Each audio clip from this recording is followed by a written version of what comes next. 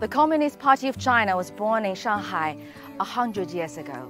From more than 50 members to the present more than 95 million members, past 100 years saw CPC becoming the biggest party globally and transforming China into one of the biggest powers in the world.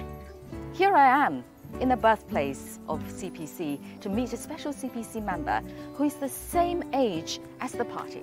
Yes, 100 years old.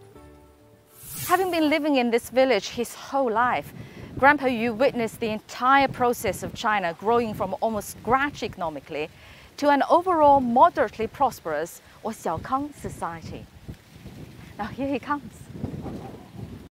Yu Bosheng was born to a farmer's family in 1921. He was lucky enough to go to school. After the founding of the People's Republic of China, he began to teach at a night school to help reduce literacy. In 1953, he served as the village director. His wife passed away 10 years ago, and he has insisted on living alone since.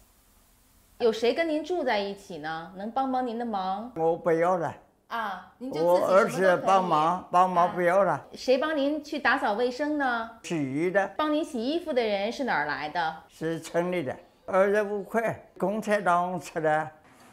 Home care is not the only service the local government provides for the elderly. Every two weeks, Shuyuan Town also treats seniors to haircuts, massages, and even offers them physical exams. While well taken care of by these services, for Grandpa Yu, family gatherings give him the most joy.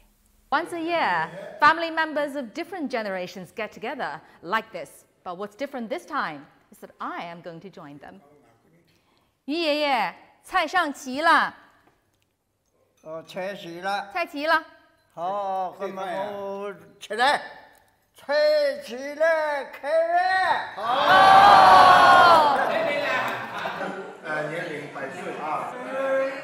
Each generation of this family represents its distinctive social and economic development stage in China. In other words, this family is an epitome of China in 100 years. 于渊、杨伯凯、 Yu has a 杨开 notebook 慧 in which he has recorded the names of hundreds of revolutionary martyrs. 是的。您抄的什么呢？这是都是应用呀， 共产党的英雄呀。李大钊、夏明翰。哎您为什么要记这些名字呀？我是共产党员吗？党员无私，党员不怕苦，党员必要的时候不怕牺牲。共产党员对党忠诚，积极工作，为共产主义奋斗终身，争取小康生活。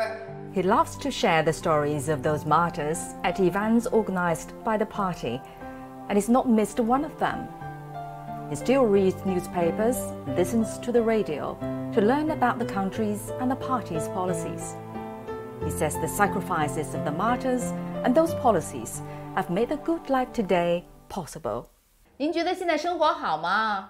生活好的，跑共产党的，和您之前想象的一样吗？ 以前没想到做不到，嗯，一时没想到做到。您的梦想基本上都实现了。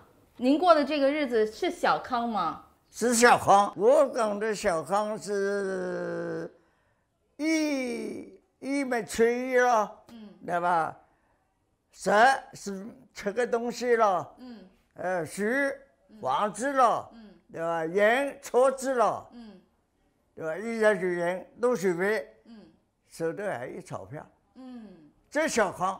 This centenarian said in his younger years he had dreamed of having enough food and living a comfortable and secure life in a prosperous country where people are well. And now those dreams have come true. And this is his concept of Xiaokang and also the country Xiaokang in essence. As simple as that.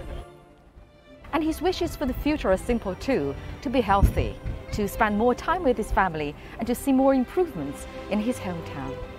So we wish him health, more joy, and for the entire family, lasting prosperity. Li Dongning, CGTN, Shanghai.